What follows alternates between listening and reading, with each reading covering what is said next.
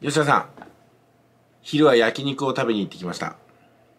なんと3人で4000円以下3800何がしです。しかもお肉はがっつりね国産牛鶏豚この混ぜこぜでございます。お肉の総量 400g これが通常1700円のところ平日ランチは1200円。いやー満腹でした。ご飯も大丼飯。いやいつでもねお店に行けばご飯食べれるっていいなと思いますね。大根性大混雑しましたんで予約していきました。行列を抜けてスッと座れてパッと食べれてさっと帰れましたね。ありがたい。うん。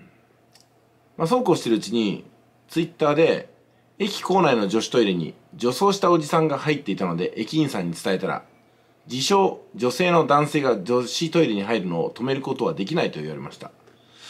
一体これは何でしょうか？いってらっしゃい。